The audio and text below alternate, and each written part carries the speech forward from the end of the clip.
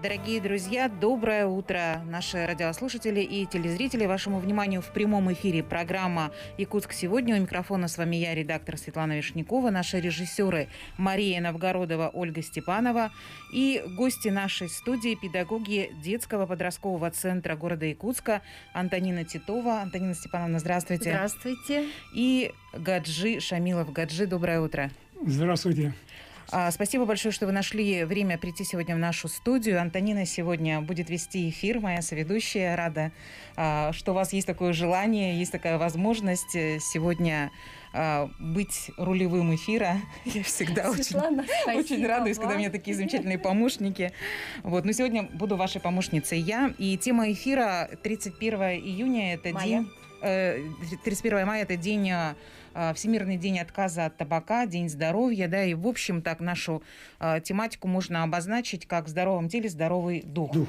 Да, и профилактика здорового образа жизни, наверняка, которую нужно начинать с детства, да, чем, наверное, вы в вашем центре и активно занимаетесь. А, слушателям и зрителям я напомню, телефоны прямого эфира 32 0066, 32 11 66. По ним вы можете присоединиться к нашему разговору. Кто-то, может быть, расскажет о своем опыте, о своей позиции. А, я э, придерживаюсь э, здорового образа жизни, очень рада и очень горжусь этому. Не употребляю алкоголь и не употребляю табак. Прям я каждый день рада, что когда-то я приняла такое решение вообще отказаться от таких а, зависимостей и привычек. Другие зависимости еще со мной, но сегодня речь не об этом. Сейчас передаю слово Антонине и э, слушатели, если будут звонить, я буду тогда отслеживать звонки. Хорошо. Спасибо, Светлана. А, за возможность участия в эфире. И а, впервые Всемирный день отказа от табака ну, без табака, он был, а, он прошел в 1988 году. И этот день отмечается для того, чтобы привлечь внимание общественности, жителей, ну вообще в целом людей э, к тем негативным последствиям, которые э, ну, происходят с людьми после, э, ну, связанные с употреблением табака.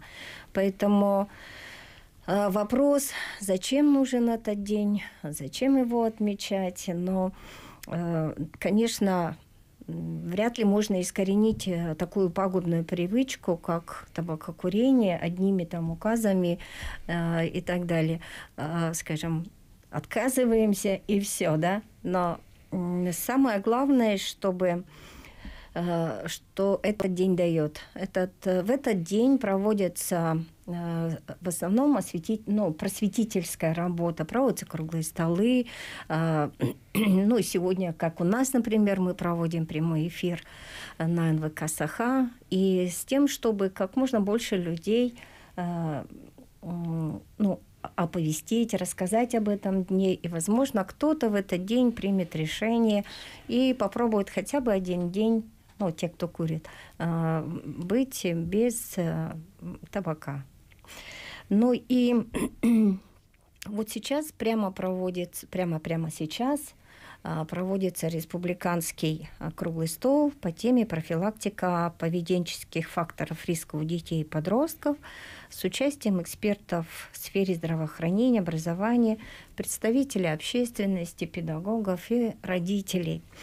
Ну а в детском подростковом центре у нас а, есть программа, проект, который называется «Лига здоровья». Она у нас существует уже давно, э, с 2010 года. И э, Лига здоровья, она направлена на позитивную профилактику. Вот мы до эфира говорили о том, что есть сейчас понятие позитивной профилактики. То есть эта профилактика направлена на э, не просто на запрет, вот как раньше, да, нам говорили, там капля никотина убивает лошадь, курить нельзя, там чего-то нельзя, страшилки. Ну, наверное, это тоже надо рассказывать, но сейчас все-таки э, больше внимания на профилактику такую, э, вовлечение детей в занятия дополнительным, ну, в дополнительных в кружках, секциях, да, то есть э, вовлечение детей и подростков в интересные творческие занятия. Вот. И у нас э, одним из направлений, вот я сейчас э, попрошу включить видео Лига здоровья. И Лига здоровья, вот здесь мы сделали, я сделала небольшую подборку и э, сделала видео из тех мероприятий, которые проводились у нас э, в детском подростковом центре э, в течение, ну вот считайте, с 2010 года. Некоторые мероприятия, некоторые проекты реализуются уже на протяжении всего этого времени и стали традиционными. Такой вариант хороший, то, что вы альтернативу предложили, да, вместо того, чтобы идти вот туда, в ту сторону, вот давайте, может быть, вот это вам будет интересно, интереснее. Да. И вот э, очень много мероприятий, которые направлены на э, то, чтобы детей вовлечь э, в ЗОЖ, э, в здоровье сбережения. Вот один из традиционных мероприятий «Здоровый человек, здоровое будущее». И даже во время пандемии педагоги детско-подросткового центра проводили э, традиционные мероприятия, направленные на здоровье и сбережение, на ЗОЖ. Вот. Конкурсы рисунков. В этом году очень э, прошел яркий, интересный конкурс дистанционный. Э, и э, видеороликов, э, и наши семьи, семейный был конкурс. Вот. Ну и сейчас я э, хочу передать слово Гаджи Арбековичу. Э, э, есть такое очень интересное направление техническое в нашем детском подростковом центре. И, э, пожалуйста, о нашем авиамодельном клубе «Лайнер». А, здравствуйте. Это детский подростковый центр, руководителем которого является Петрова Наталья Николаевна. Наш авиамодельный клуб «Планер» находится в порту. Но мы, как, как говорится, привлекаем детей для того, чтобы в первую очередь, конечно, отвлечь их от улицы, чтобы они были после школы заняты чем-то своим творчеством. Это для того, чтобы в дальнейшем они могли приобрести свои направления, ну, специальности даже, так скажем. Это мы, конечно, помогаем и, соответственно, уберегаем детей от этой привычки, которые, как говорится, они обычно э, ну, на улице приобретают. И приобретают, ну, вообще, конечно... я скажу, что первые как бы э, сигареты дети пробуют в подростковом, ну, человек пробует в подростковом возрасте. Да. И вот как сегодня у нас, как говорится, день э, борьбы курением, ну, борьбой, конечно, мы не будем заниматься, мы просто будем говорить, что нужно все-таки помочь детям, чтобы они в эту ну, ненужную дорогу, как говорится, не пошли. Во-первых, почему? Потому что э, друзья там и еще, как говорится, неокрепший организм, который проходит, э, начинает пробовать, как говорится, ну, как бы проб, ну, первые шаги делать в этой области курения – то это может привычка такая, какая, с которой очень трудно детям бросить ее, во-первых. Ну и лайнер наш, конечно, соответственно, дает возможность детям своими руками сделать первую модель, которую они, соответственно, как говорится, э, ну, мечтают многие дети. Я даже сказал, даже взрослые, чтобы сделать своими руками что-то, но у них не выходило. Но наш лайнер-клуб открыт для них, для всех. И первые модели, которые они делают, они их запускают – и это называется, как говорится, проектами ихними, изыскательными проектами. Как говорится, они пробуют э, потом выступать на соревнованиях этими моделями. Ну, соответственно, конечно, они радуют в первую очередь родителей этими своими успешными моделями, которые они сделали своими руками. Но я приглашаю всех, кто, как говорится, желает туда прийти, как говорится, и детей пускай приводит, э, ну, чтобы они своими, как говорится, детьми радовались родители, которые будут, как говорится, делать эти да. в нашем клубе. Да. В детском подростковом центре летом будет э, э, увлекательная, познавательная, досуговая онлайн-площадка «Лето проф». Да. И конечно, мы приглашаем всех родителей э, сообщить детям, записать в приложении их э, в приложении навигатор, найти детский подростковый центр и записать своих детей, а детей сам, кто-то может сам запишется. Да. И на очень интересные, увлекательные вас найти можно ведь в Инстаграм, да? Набираешь да. просто детский подростковый центр, да? Действительно, так оно есть. По-русски, да, и там выходит. Да, а уже от вашего сайт. центра можно найти вот этот вот а... клуб авиаторов. Да. Вы здорово придумали, потому что вот а, вы правильно сказали, что в подростковом возрасте, да, некоторые чуть раньше дети, к сожалению, пробуют вот такие вот э, вещи, Обувные, как табак, да. алкоголь, да. А почему это происходит? Наверное, с этим ты как-то вливаешься вот в какую-то компанию или кажешься взрослее, то есть в этот момент тебя видят, потому что, в принципе, Все самое главное, куда, зачем идут дети, да, это за внимание вниманием.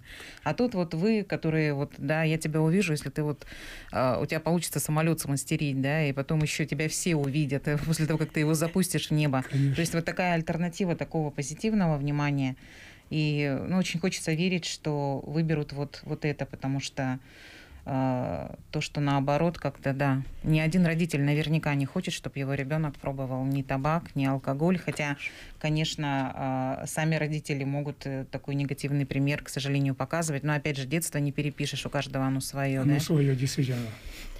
А, я скажу про личный опыт, да, и кто-то э, отказывается от курения по состоянию здоровья. Вот я знаю, что, Каджели Арбикович, вот к вам вопрос. А, вы когда-то тоже в какой ну, в свое время отказались. Вот по какой причине, почему? Причина отказа моего курения, ну так, если быстро сказать, как говорится, потому что можно очень много рассказать, почему это честно скажу, действительно, это первое, это армейский опыт, который, как говорится, соответственно, хотя до армии я занимался спортом и никак, как говорится, был очень, как говорится, от этого далек. И никак не, даже не думал об этом. Ну, в армии у нас была курилка, где обычно собирались молодежь, как говорится, первые призывники. И там окурили все. И вот это был, как говорится, опыт такой. Но в дальнейшем, конечно, я честно скажу, хотел бы вот коротко сказать. Бросил и очень даже я скажу так, что мой организм мне сказал спасибо в первую очередь. И, соответственно, общение с людьми стало намного, как говорится, такое, ну, не этим вот этим, как говорится, э, дыханием, как говорится, табака. Да, чувствуешь да. себя по-человечески. Конечно. Да, никакого тумана в голове, да. И, и гордишься да, собой. И, и трезво воспринимаешь жизнь, да. Ну, конечно, хорошо, чтобы нас услышали дети и подростки, и как-то... Ну, и взрослые. Да, сделали выводы. Да, у нас через э, две минуты вернемся, сейчас реклама. Не теряйте нас.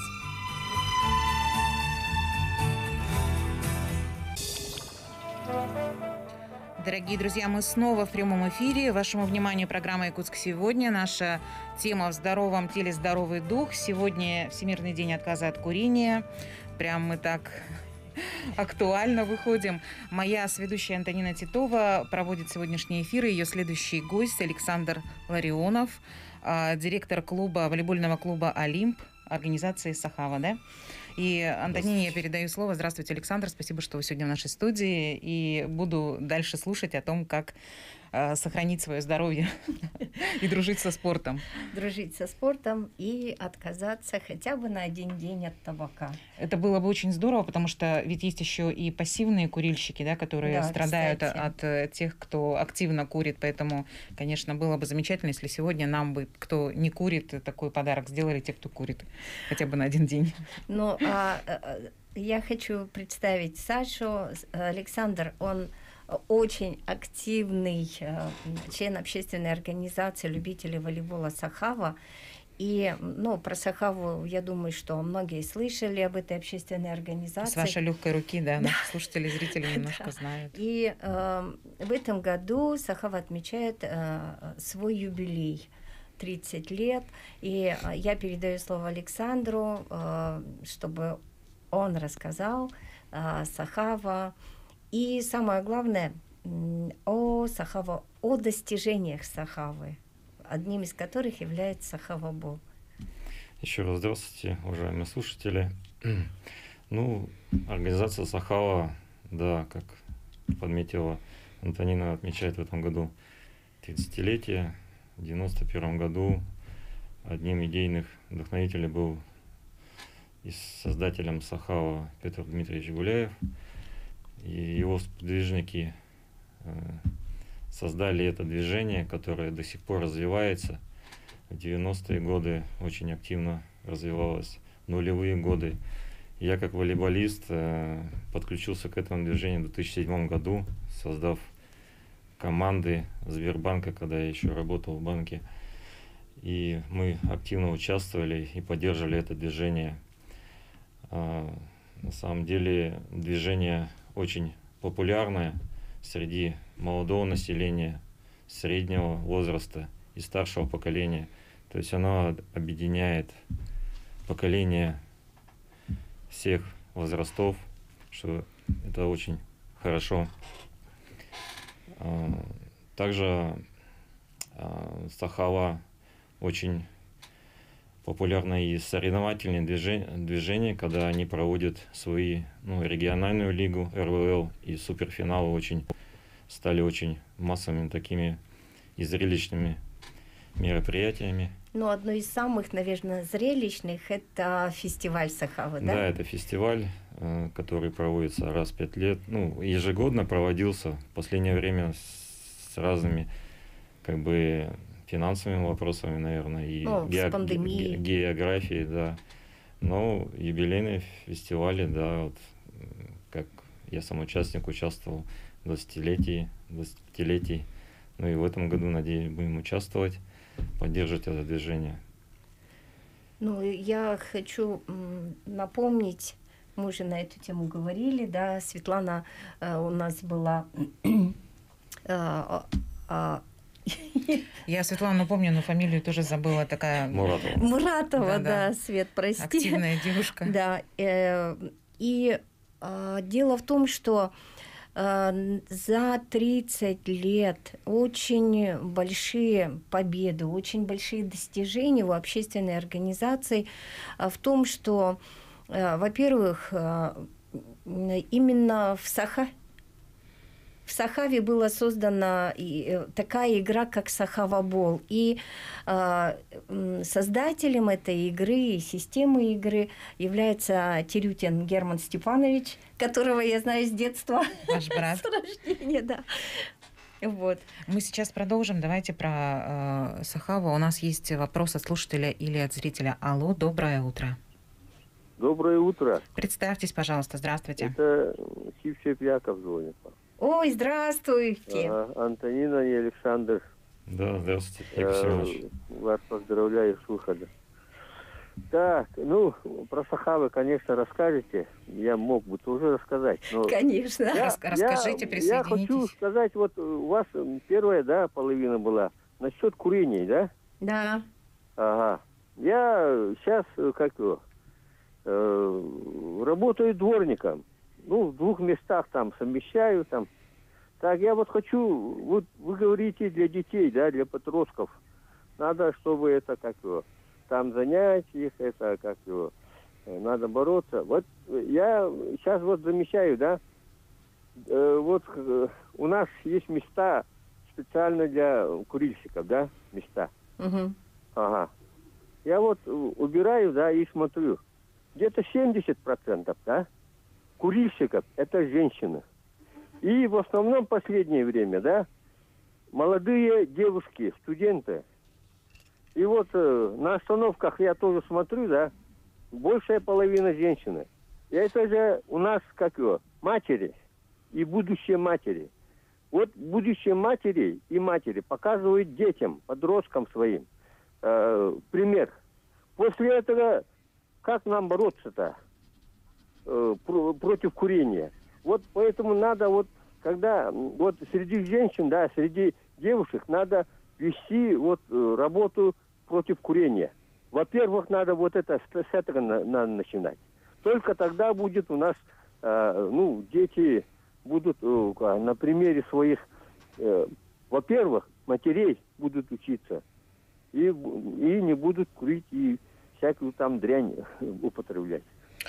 Я Вот Да, я согласна абсолютно. Спасибо большое. А вот вы говорите, вы дворником работаете. Я представляю, там, наверное, сколько приходится выметать.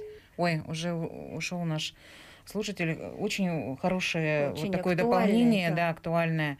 Я тоже не раз, я, правда, так не отмечала статистику, кого больше, мужчин или женщин. А, но я видела, что и беременные женщины могут стоять курить, да, и вот, и я, честно говоря, вот, конечно, не, не хочется как-то осуждать, да, но как-то вот не хочется смотреть, когда женщина курит. У меня какой-то вот внутренний протест, прям как-то еще мужчине как-то, ну, тоже не хочется, ну ладно, ну, потому что действительно а, будущая мама, да, и не хотелось бы, чтобы так было. Лучше заниматься волейболом. Да. Саша, а вот расскажи, пожалуйста, о Сахава боли. Ну, Сахава, Вообще для чего эта игра? Почему она была создана? Сахава Боу как бы э, ну, базируется, конечно, на классическом волейболе. Там в основном изменения от классики это ну, стандарт площадки, да, то есть она ромбообразная, длина уменьшена на 1 метр, она 8 метров, э, в ширине она чуть может быть и 10. То есть играют 4 человека в одной, э, в одной смене. То есть Сахалбол предназначен для, я бы так сказал, и популяризирует, да, сплочение людей. То есть в одной команде играет 10 человек, но на площадке находится 4. То есть могут играть мужчины и женщины. То есть 4 мужчины отыграли, 4 розыгрыша до 4 очков, смена, заходят женщины. Также э, разновидность может многообразной быть. Родители, мо- дети. Да, семейные. Там все родственники одной командой собрались и играют против других родственников. Также могут школьники играть и тренера. Это что мало возможно. То есть В одной команде. поколения разные, да, все обучение идет. И она очень сейчас популярна очень в сельских лусах, на слегах, где мало вот э, не- не- невозможно школы. собрать полноценную классическую команду, да, а приходит э, пять школьников и пять взрослых мужчин, да, И например. играют в одной команде. И в одной команде, да. А Также э, я знаю, что в Вилюйске в 2019 году даже включили Сахалбол э, в производственную спартакиаду. И они успешно ее провели. Также она популярна и в заречных улусах, в горном улусе. То есть ей только развиваться, и как я вот как волейболист, как руководитель клуба, да, мы поддерживаем это движение и эту игру. Я немножко подзависла на теме курения. Вот у нас же бывает такое абсурдное, да, вот там, например, врачи выходят и перекур. Учителя отвели там лекцию, уроки прочитали, выходят и перекур. Есть ли такое вот, э, вот э, у волейболистов? Поиграли, пошли перекурили. То есть совмещать вот спорт и, и курение. Это не исключение, это в каждом виде спорта. К сожалению, Во- да? К сожалению, да, во всех игровых, даже единоборствах. Ну, это все от человека индивидуально. Ну, потому что, наверное, все-таки все равно какие-то психологи- психологические, Психологические да, воспитания психосоматические, поколений. да, Сейчас вот это э, я вот имеет. смотрю, школьники, ну, школа не дорабатывает. У нас, вот я воспитанник СССР, да, как бы, я в 91 году закончил школу, у нас очень было строго. Ну, вот я как бы тоже с поселкового, такого, с поселковой школы среднеобразовательной, у нас учителя держали нас. Хотя пытались, а, ну, наказывали, тут эти родители привлекали, там собрания были, там, еще действовал там пи- Общественное пи- осуждение пионерия, было. комсомол действовал, да, ну, мы как бы другое поколение. Сейчас гаджеты, компьютеры у детей маленько. Э, Поэтому нужно развивать вот этот э, ЗОЖ. И вот, кстати, в этом смысле Сахавабол может быть очень хороший. Очень полезным, да. Потому Да, что, я почему? говорю, поколения вместе могут играть в одной И команде. дети, и взрослые Да. могут вместе играть, а также, вот я просто добавлю, э, Сашина ну, рассказ, э, Сахавабол могут играть люди с инвалидностью и без в одной команде. Мы даже проводили соревнования, вот там есть фотография, если э, нам редакторы сейчас найдут, э, мы провели соревнования Сахавабол сидя. Да, М. то есть вот, да, люди с инвалидностью без. Вот здесь на фотографии видно, да, Саш, Мгм. посмотри. Там вот э, женщины и вот мужская часть Мгм. команды. И по очереди, как только 4 очка получили, отыграли, с- происходит смена. Мужчина выходит, женщина заходит. Знаю, что сегодня будут у нас э, в студии спортсмены. Меня спросили, как попасть вот э, в Сахаву, если это ребенок, если это подросток, как к вам прийти и можно ли, с какого возраста можно начинать играть в вашей команде? Вот это вопрос к Саше, да, как к руководителю. Ну, волейбол как бы рекомендуют начинать, наверное, с класса четвертого, да. А, но это у нас в России как бы вот это вот 10-9 лет начиная. В Европе они начинают с 6-7. И когда, ну, я как бы отвлекаюсь от темы более профессиональная, когда наши э, сборные играют чемпионат Европы против тех же европейцев, да, там, например, они отличаются. То есть мы берем физикой, ростом, а там техникой и тактикой. Mm-hmm. То есть сейчас тенденция, вот э, я вот учился там в Казани, там в Москве, идет более раннему возрасту. То есть не обязательно там прыгать, но чувство мяча уже приучает более раннего возраста, с начальных классов. Спасибо, Александр. У нас сейчас реклама, и третий блок ждем через две минуты снова в эфире наших слушателей и зрителей.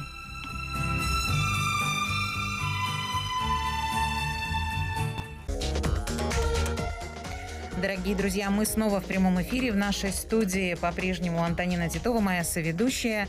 И э, наш третий гость Артем Ветров, э, пожарный МЧС Тулагинского наслега Геракл. Правильно? Но а, на самом деле э, много чего, правильно? А, То много есть... чего. А я подумала, как хорошо и даже фактурно, вот прямо как Геракл. Нет, на самом деле его так и зовут, Тулагинский Геракл. И э, имя это свое он получил а, после участия на эсэхе Тулагина Кельдямского наслега. Но я думаю, что э, Артем об этой части у меня прям вопрос заготовлен, об этом потом он расскажет. А по профессии, по, э, он работает, да, старшим пожарным. А, ну все, значит, я все правильно, все правильно сказала. Артем, доброе утро. Спасибо, доброе. что вы пришли сегодня в нашу студию. Рада вас видеть. И поскольку Антонина ведет сегодняшний эфир, я передам ей слово. А слушатели и зрители могут к нам присоединяться по телефонам 32 0066 и 32 11 66. Общая тема у нас звучит «В здоровом теле, здоровый дух». Да. И сегодня напоминаем Всемирный день отказа от табака. Поэтому и тема наша в здоровом теле, здоровый дух. Вот э, Артема я знаю давно, но, но просто очень давно, когда он еще не был таким большим. И я, конечно, думаю, что все жители Тулагина-Кельдямского наслега очень гордя, гордятся своим земляком, очень его любят. И вопрос, Артем, к тебе, для, чтобы ты ответил всем э, слушателям, зрителям. Э, вот с чего начался твой спорт? Курил ли ты когда-нибудь? Если курил, бросил ли? Если не курил, то почему? Ну, в общем, такая да, тема. Да, я курил. Курил после школы, начал курить. До армии курил. В армии курил. Ну и в армии, ну, уже ближе к дому, начал бегать, начал немножко, ну, как бы сам уже начал рваться к спорту. Ну и почувствовал, что он мне прям мешает. Вот. Не могу открыть потенциал своих легких. Ну, почувствовал, что вот мешает прям. Занятия. Воздух в спорте, он все равно же как бы очень важную роль играет. Да и в жизни тоже нам как кислород нужен, как без дыхания, да? Тем ну, более сейчас да. в это и время. Начал Наш... как бы задаваться вопросом вообще, зачем это все. Как, если я выбрал такой путь, то, наверное, нужно что-то придумывать, избегать. Ну и... А как вы тогда бросили? Достаточно долго курили по времени? Прям втянулись уже. Было сложно, да. Ну, за счет того, наверное, что вот с армии домой поехал, хотел, дом, дом, дома хотел всех как-то удивить, что вот Вау, другой человек приехал, не курит там. Ну и все, вот как-то с армии пришел, пошел в спортзал и уже не до сигарет было. Ну и смотрел все равно в спортзале ребята, которые курят там, как им тяжело было. А когда на них смотришь, как им тяжело, мне становится легче как-то. Ну и Не было такого уже, чтобы покурить бы там или что-то подобное. А, а так, если проанализировать вот то время, когда вы курили, и потом, когда перестали курить, верно ли говорят, что словно туман из головы вот рассеивается, проясняется сознание, и как-то восприятие мира, восприятие информации, которая вокруг по-другому? Ну, не знаю, я бы, вот честно сказать, такого не сказал, но Просто конкретно, физически? конкретно физически, да, мне стало намного проще преодолевать свои там какие-то моменты спортивные. Но ты э, сейчас же продолжаешь заниматься. Я знаю, что Артем готовится к э, таким большим нашим соревнованиям знаковым в нашей республике. К играм Манчары готовишься же, да? А, можешь рассказать, как вообще вот э, в пандемию, как э, вообще это все происходит? Как, где тренируешься? Ну, у меня есть свой родной спортзал, в котором я как бы, ну, уже на протяжении нескольких лет тренируюсь, подготавливаюсь к каким-то тем или иным соревнованиям. Это качок жим. Ну, силовые все как бы показатели я тренирую в нем, а конкретно вот по масс-рейсингу готовлюсь на манчары, я уже хожу. Вот, кстати, показывают фотографию с тобой из цеха, после которого Артема стали звать Тулагинским Гераклом, да? Ну да. Вот там он вообще очень много. Какие там виды ты выиграл? Все виды, которые были, все, я да? все выиграл. да. Переноска камня, бег, прыжки, якутские национальные, весь велюсь. Слушай, а вот Масс-рейс. ходит легенда, что ты говоришь по-якутски. Ты Ну. говоришь на якутском языке? Говорю, но в отдельном кругу, так скажем. Среди своих. Но, Значит, понимаете, да? ну, понимаю. да. Ну, здорово. А еще я знаю, что Артем, он чемпион мира. Вот по какому виду? А, Чемпионат мира я выиграл в городе Долгопрудном, в Подмосковье, по армлифтингу. Ну, там сила хвата, сила пальцев. Очень Сыграли большую, свою роль. большую роль играет она. И по народному жиму лежа тоже в этом же году серебряным призером мира стал. Вот, Артемыш, вот а, я смотрю, молодой, Круто. красивый, да, у- очень позитивный и такой открытый человек. Вот а, ты вот что бы хотел, а, например, сейчас бы э, вот тебя слушает много а, э, людей, что бы ты хотел сказать молодым, ну вот твоим, своим сверстникам, тем, кто курит? Ну, сигареты, они до Как хорошего, до хорошего точно не доведут. Просто вот э, чем раньше человек поймет, что нужно с этим завязывать, тем, конечно, лучше. Не нужно затягивать, там, ждать понедельника или 1 января. Просто как-то, не знаю, все равно к этому кто-то придет, когда, не знаю, что-то получаться перестанет там, в том же спорте. Возможно, это было одно, возможно, было бы это одним из пожеланий э, вам, себе, тому, который когда-то начал курить, да, вот Корчевников Может, Борис, да, в, в своей передаче задает вопрос, а что бы вы тому себе сказали, да? Возможно, это было одно из таких пожеланий, что не начинай. Тому Артему, который когда-то курил. Может, не знаю, просто когда-нибудь человек влюбится, да, в кого-нибудь там, а девушка курить не будет. Это, опять же, очень сильные проблемы там и в дома, и в быту. Это правда, вот когда если в паре, да, один человек не курит, другой Да, курит, очень прям это сильные мучение. запахи прям. Да. У нас есть телефон. Алло, здравствуйте. Доброе Здравствуйте. утро. Спасибо за ожидание. Представьтесь, пожалуйста. Это Солекинская, торговка Наталья Панасовна. Да, Наталья А. Афанасьевна. Я вот э, вашу беседу слушаю и э, очень хочу сказать, наше сейчас последнее время, да, а раньше, например, советской власти сказать можно, все курили. Старики и дети, большинство встречались, магазины блоками брали сигарету, да. А сейчас вот я сколько замечаю, у нас, наоборот, курящих меньше стало. Вообще на улице даже курящих не увидишь. Вот у нас, например, Алекминск, да, вот в магазинах хожу, люди раньше блоками сигареты брали, а сейчас никто сигареты блоком не берет. И вот на улице курящих я не вижу. И стало как-то люди соблюдать здоровый образ жизни. Я поэтому вот вашу передачу хочу, что побольше вот такие профилактические э, передачи перед школой. Школьники вообще, вот сколько я хожу, у школьников, например, да, я курящих не вижу. Мне сейчас 73 года, да, 73 года. Например, в наше время раньше курящих очень много было. На улице выйдешь, все курят, и женщины, и старики, Наталья и Афанасьевна, и дети, подростки. да. Спасибо А вам щас- большое за такое мнение, за такое наблюдение. Но здорово, если так вот в Алёкминске, да, так хорошо. Да, А, слава, хорошо. слава богу. Но правда, э, раньше в советское время действительно очень много людей курило, да, и как-то было нормой, что человек идет и вот по дороге курит. В фильмах было больше пропаганды, не было вот этой заставочки, что там в фильме будет сейчас показано э, употребление алкоголя и табака, это вредит вашему здоровью. Как-то это было нормой.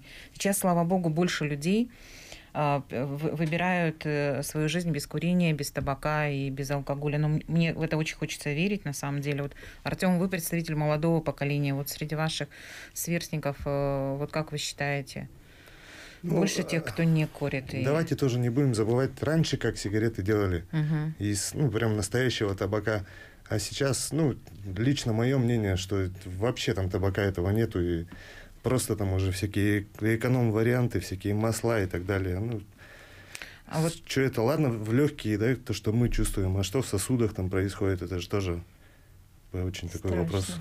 Ну вот, наверное, если проводить такие профилактические да, там, занятия информационные, когда детям рассказывают, что будет происходить с твоим организмом, вот как бы внутрь заглядывать, если ты будешь курить, мне кажется, это будет тоже очень, очень хорошим таким э, вот подспорьем в том, чтобы не начинать, не а вот э, позитивная профилактика, она заключается в том, чтобы приглашать на беседы таких людей, как Артем, которые своим примером, своим, своей жизнью показывают, как это, какая жизнь без табака интересная, какая она полноценная. Побед как много. Вообще э, и профессия очень сложная, да, и слава богу, что у нас такие пожарные, которые, Пожарник.